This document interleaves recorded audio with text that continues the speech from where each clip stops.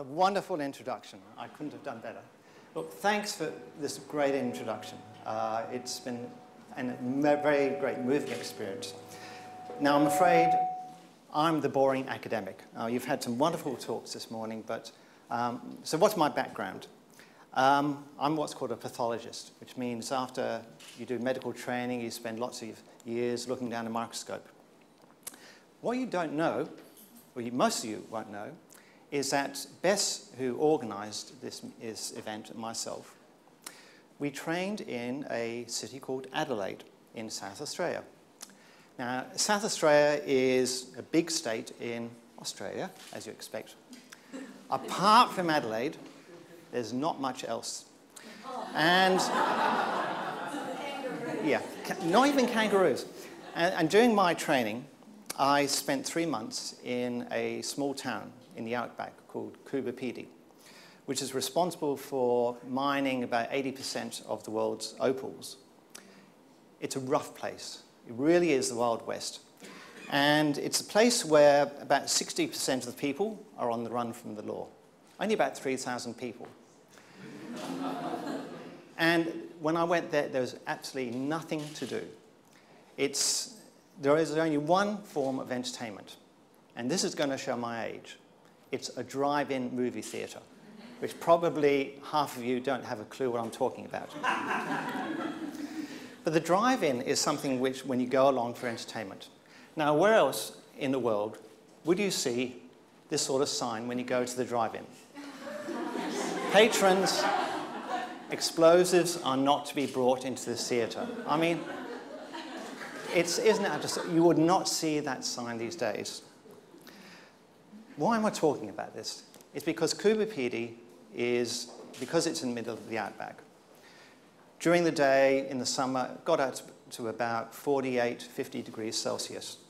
So the only way which people have developed a resilience is actually they live underground. So they're within all the mines, they basically have these things called the dugouts, where people live where it's only 22 degrees. So this is one form of how a community develops a form of resilience. What I'm going to talk about is Hong Kong and the bad hair day. I think many of you have had a day when nothing has gone right. I want to talk to you about a time when Hong Kong just didn't have one bad hair day that lasted for about four months. Initially, it started in February when there's reports across the border in China of a respiratory illness. No one took much notice. And then one, there were one or two cases in Hong Kong. Uh, still, no one took much notice. And then there was the outbreak. People panicked. People fled Hong Kong. The government didn't really know what to do. It tried quarantining people. So it cordoned off a big area of Hong Kong to stop people getting out. As people fled Hong Kong, initially, the businesses weren't that concerned. But then once the trade started suffering, then they started getting concerned. People didn't know what to treat it with. Some people were trying Chinese medicine. Some people were trying anything. As I said, there was panic. People wanted to know what was the agent. Initially, one agent was found. A few days later, another agent was found. And then after about well, around May, June, it all finished. But the population of Hong Kong was decimated. Remember that term, decimation, because I want to come back to that later. So I'm going to show you some pictures of what the hospitals were like and the area which was cordoned off. Hmm, that's strange. I'm showing you the hospital, I'm showing you the area. But what's the problem? It was 1894. This is when there was the outbreak of bubonic plague in Hong Kong. And that's the area called Taiping Shan, where there was the greatest mortality. And that's the area which the government tried to quarantine off. It was called the cordon sanitaire.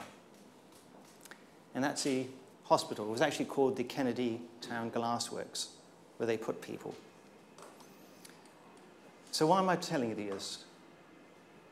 I'm not just messing with you.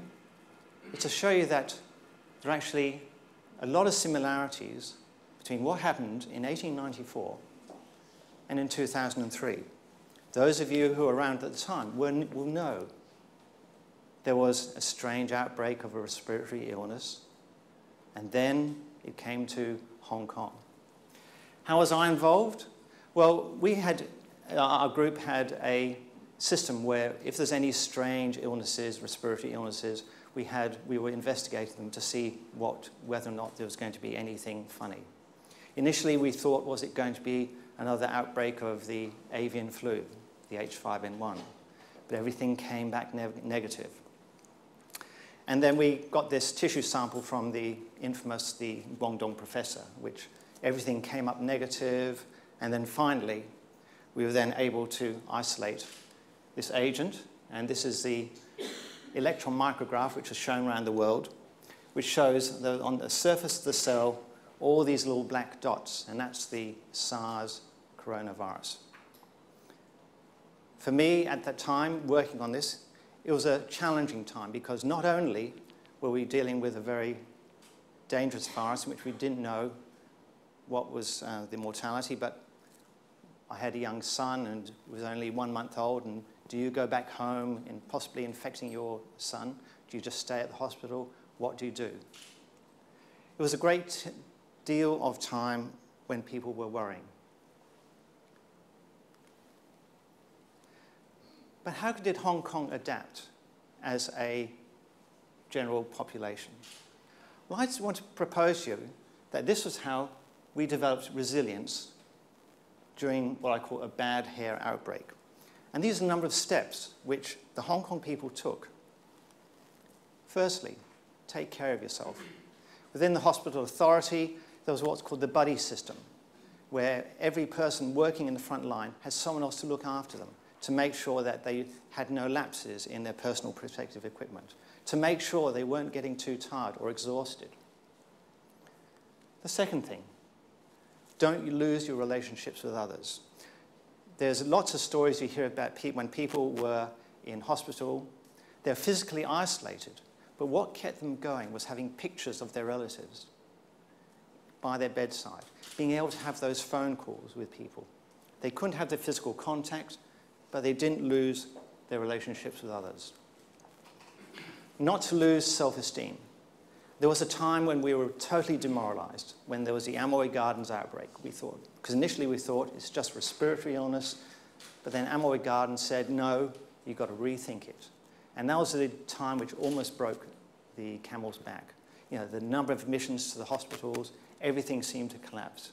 But we still kept up, and people were still encouraging us. Fourthly, adapting. This is where Hong Kong really developed. I mean, where else would you get people who have designer face masks? Only Hong Kong. And then finally, to look on the positive. Luckily, no one else has said it today. But when life gives you lemons, you've got two choices.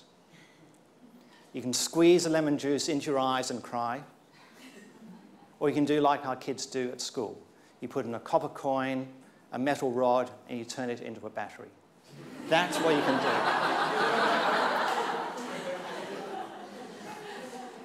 so what good came of it all? Well, interesting, after the 1894 outbreak, there was a commission of inquiry, and they found that the outbreak in Taiping Shan was due to the poor housing. Houses too close to one another. So in the end, from that developed the Buildings Ordinance. And from that, we now have the Hong Kong Town Planning Board. So when you want to blame the developers, you can blame also the plague. Not much else happened. But what happened after SARS? Well, we had the team clean. If you look around, you see now people are having the antibacterial, the alcohol wash. In the lifts, you can always have the hand sanitizers. Hong Kong has really adapted. We've changed for the better. And this is where live as if you were living for a second time, as though you had acted wrongly the first time. So I think it's an important quotation in which I want to emphasize is that how did Hong Kong adapt for the second time? Because we had that second time. Since 1997, we've had the numerous outbreaks of uh, influenza. And this is the electron micrograph showing these influenza virus particles, which I've taken. And in 2009, we had the swine flu outbreak. How did Hong Kong react? You might remember we quarantined some tourists in a hotel. Same thing. But what was the reaction? It was almost like a carnival. People were smiling, they were giving gifts. People, it was actually, there was no panicking. We, didn't, we couldn't have contained the virus. This is the uh, slide from the WHO, which shows that the virus spread all over the world. But Hong Kong had actually developed quite nicely. Helen Brandwell wrote a very nice, interesting article. It's now been 10 years since SARS about how resilient. And she says, an incredible saga, SARS ended lives and decimated some other families.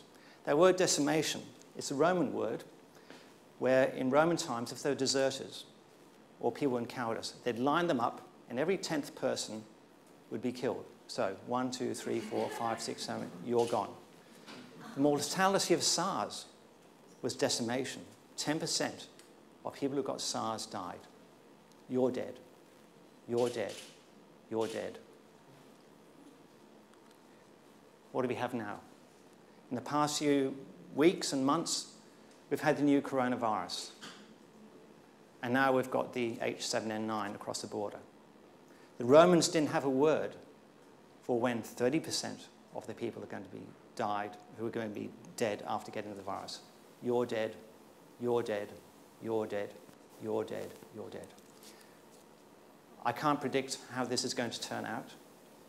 But one thing I think is sure is that Hong Kong will adapt, and I think Hong Kong has developed its resilience. Thank you.